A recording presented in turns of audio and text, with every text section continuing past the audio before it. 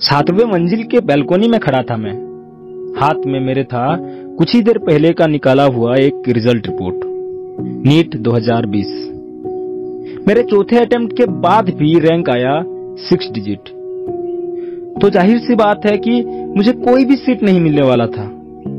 खुद के और दुनिया के नज़र में मुझे एक टैग मिल गया था, जिसका नाम था लूजर, जो ज़िंदगी के सारे जंग को हार चुका था। अब भला मैं किसको क्या मुँह दिखाता?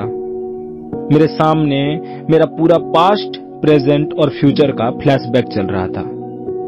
पापा के इतने पैसे और खुद के इतने वक्त को बर्बाद करने के बाद आज अगर मेरे पास कुछ बचा था तो वो था बस एक रिज़ल्ट का प्रिंट आउट पेपर जो किसी भी काम का नहीं था।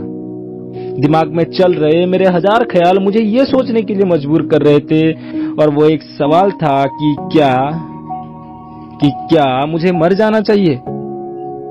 और पता नहीं क्यों और कैसे मुझे लगा कि खुदकुशी मेरे ये सारे सवाल का जवाब था। और पलक झपकते ही मैं बालकोनी से नीचे कूद गया। अपनी सारे परेशानियों के बीच जूझ के जब मैं नीचे गिरने लगा तो मुझे दुनिया के कुछ कड़वे सच साफ़ दिखने लगा। मैंने देखा कि सिक्स फ्लोर के मिस्टर और मिसेस मेहता, जिनका कुछ ही महीने पहले लव मैरिज हुआ था, वो दोनों एक दूसरे से झगड़ रहे थे। और झगड़ा भी ऐसा कि एक दूसरे को मार रहे थे।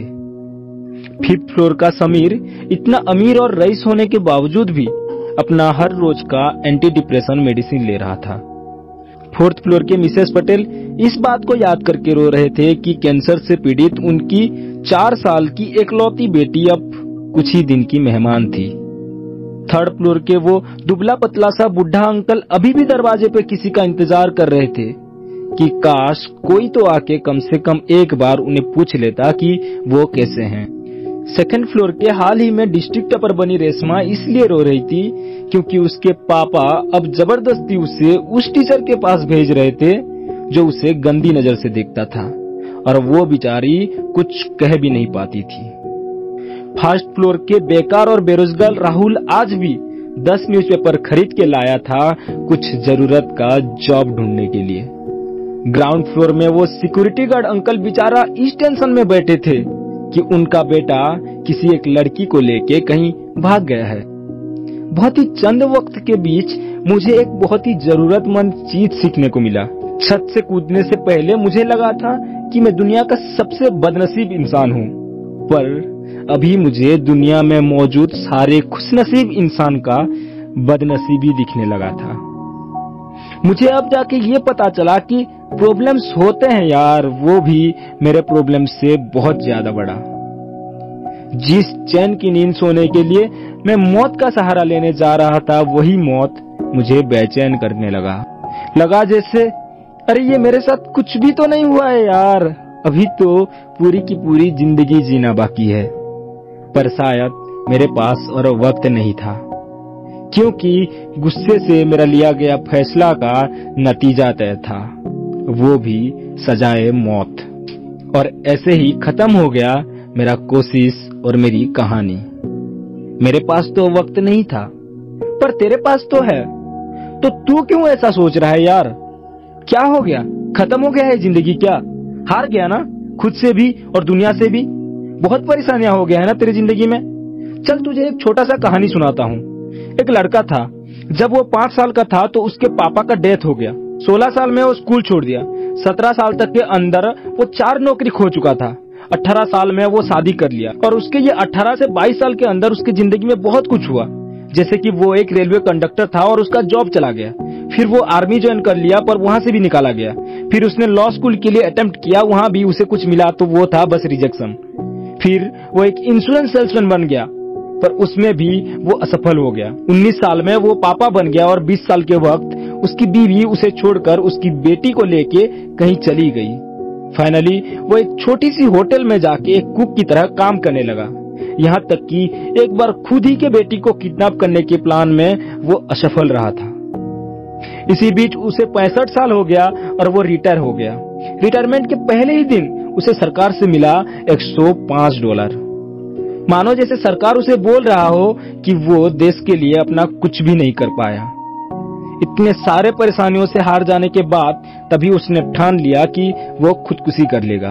खुदकुशी करने से पहले वो सुसाइड नोट में अपना आखिरी ख्वाहिश लिखने की वजह ये लिखा कि वो ज़िंदगी में और क्या कर सकता था। तभी उसने एक बहुत ही खूबसूरत चीज़ रियलाइज़ किया। और वो था कि ऐसी बहुत सारी चीज़ें थी जो वो करने की कोशिश भी नहीं किया। और एक ऐसा भी काम था जिसको वो दूसरों से बेहतर कर सकता था। तो और क्या था? उठाया उसने अपना रिटायरमेंट का पैसा। उससे कुछ चिकन खरीद लिया और अपने रेसिपी के मुताबिक उसको फ्राई करके घर से घर बेचने लगा। और जिस इंसान पैंसठ साल के एज में सुसाइड करने के लिए निकला था, वही इंसान दस साल के अंदर खड़ा कर दिया खुद का अपना साम्राज्य जिसका नाम था के तो मुद्दा क्या है? जवाब है एटीट्यूड ज़िंदगी जीने की एटीट्यूड जब पैंसठ साल का एक बुढ़ा इतने सारे कठिनाइयों के बावजूद भी सफलता को अपना नाम कर पाया तो तू क्यों नहीं?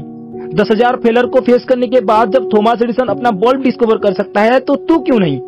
खुद के अंदर कोई क्रिएटिविटी नहीं है, कहकर जिस वाल्ट डिस्नी को नौकरी से बाहर निकाल दिया गया था, वो अगर आज खुद के डिस्नी कंपनी और मिकी माउस के लिए जाना जाता है तो तू क्यों नहीं? कभी ना वक्त निकालकर खुद से एक बार ये चीज़ पूछा कर कि तू क्यों नहीं? देखना, इसका बहुत ही खूबसूरत जवाब आएगा।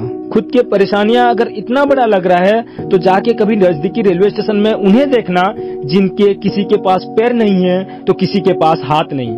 कोई देख नहीं सकता तो कोई सुन नहीं। खुद को एक बार उनके जगह रख कर सोचना, फिर तुझे ये तेरे खुद के ज़िंदगी का मोल पता चलेगा। जब भी मन में ख्याल खुदकुशी का आता है ना तो ये पाँच बातें हमेशा याद रखना। पहली बात, तेरी ये ज़िंदगी बहुत खूबसूरत है दोस्त, और उससे भी बड़ी बात ये है कि जो बात तुझ में है, वो किसी और में नहीं। अरे दुनिया मरेगा देखना भाई एक दिन तेरे जैसा बनने के लिए। अरे ये खुदकुशी तेरे किसी भी समस्या का समाधान नहीं है। दुनिया में कोई भी चीज़ परमानेंट नहीं है मेरे दोस्त, सिवाय इस मौत की। आज से कुछ महीने बाद देखना, ना ही तू ये सारे प्रॉब्लम्स के लिए सोचेगा और ना ही ये दुनिया इसे याद रखेगा। तो एक फुद्दू सी परेशानियों के लिए क्या डरना भाई? तेरी ये ज़िंदगी बहुत कीमती है। जिसे तू वैल्यूलेस सोच रहा है ना, उसी एक ज़िंदगी के लिए सैकड़ों लोग दुआ मांगते हैं। दुनिया में तो एक खाली पत्थर का भी कुछ कीमत होता है मेरे दोस्त। और तू तो एक अनमोल हीरा है। खुदकुशी तेरे कहानी के अंत करने के साथ साथ उनकी भी कहानी का अंत लाएगा, जो तेरे भरोसे सांस लेते हैं। एक बार सोच के देख कि तेरे मौत के अंतिम संस्कार के बाद जब तू बस एक आत्मा बन के तेरे अपने को रोते देखेगा तो तुझे अपने माँ बाप के लिए एक बार फिर से उठने का मन करेगा।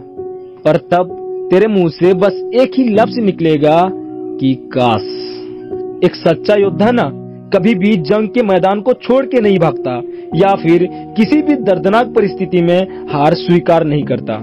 वो युद्ध करता है, आखिरी सांस तक, चाहे जीते या फिर हारे।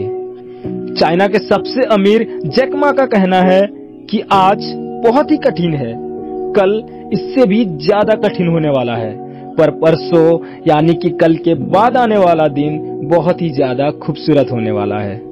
बस दिक्कत ये है कि हम कल के शाम को ही मर जाते हैं, आने वाले खूबसूरती का बिना परवाह किए। मेरे दोस्त, वक्त अभी भी बचा है। फाड़ दे उस सुसाइड नोट को, क्योंकि मर तो तू उस दिन गया था जिस दिन खुदकुशी का सोच तक लिया था। अब तो पुनर्जन्म का समय है। तो चल, उठ और उठा अस्त्र। जो अभी भी कुछ वल और साहस छुपा है ना, खुद के अंदर वो सब ताकत लगा के लड़ आखिरी सांस तक। क्या पता कि आने वाला कल तेरे लिए बहुत ही खुशनुमा हो। तो दोस्तों, अगर वीडियो अच्छा लगा तो लाइक कर देना और अगर किसी एक टॉपिक पे आप वीडियो चाहते हो तो कमेंट सेक्शन में ज़रूर बता देना। अगर चैनल में नए हो तो सब्सक्राइब ज़रूर कर लेना। मिलते हैं अगले वीडियोस पर। तब तक के लिए stay strong and stay the real you